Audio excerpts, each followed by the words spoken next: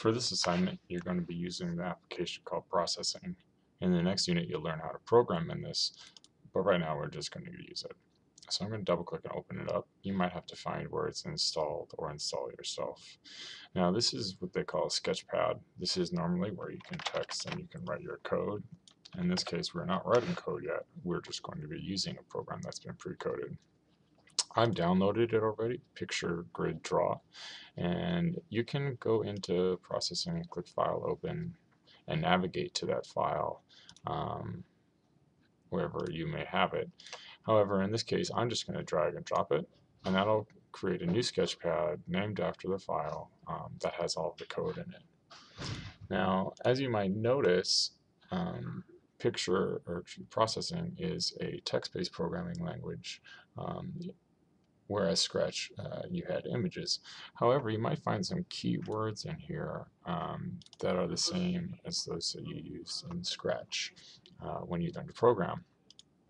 Um, so scroll through and see uh, which terms you notice that um, processing uses that also Scratch used.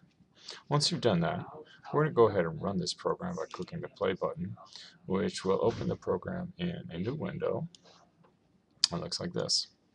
And here we have our controls down at the bottom. Uh, and the first thing that we're going to do is upload a picture. So I'll click upload picture, find my picture, open it up and it overlays.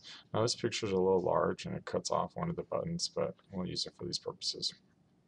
The next thing I'm going to do is click toggle grid and you can change the size of this by making it bigger or smaller. I'm going to go ahead and leave it at its default.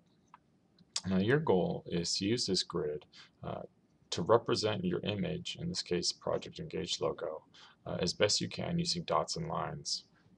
Um, here you can toggle on and off the line mode, but when you're not in line mode, when you click on an intersection of the grid, what you're going to get is a dot.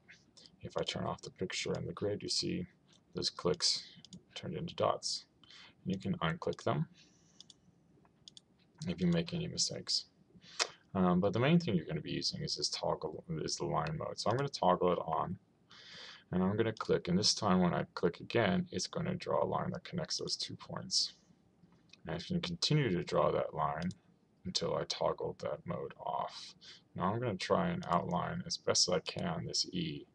You notice that the coordinate grids don't match exactly the digital image, but I'm doing the best I can to approximate what it looks like.